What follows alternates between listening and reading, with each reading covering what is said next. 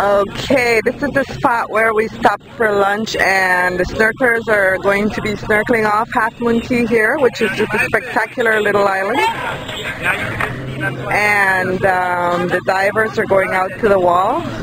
So we're about to have a lot of lot of good time checking out the corals around here and um, nice lunch on this gorgeous island like you wouldn't believe. So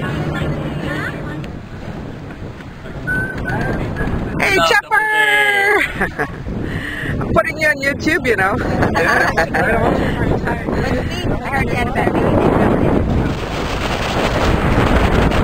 There's that shark right there. Look at it. That's the shark. That's the shark.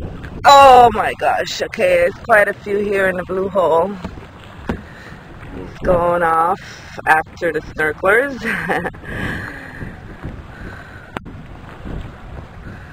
There's our snorkelers in the water over there and the shark's heading that way.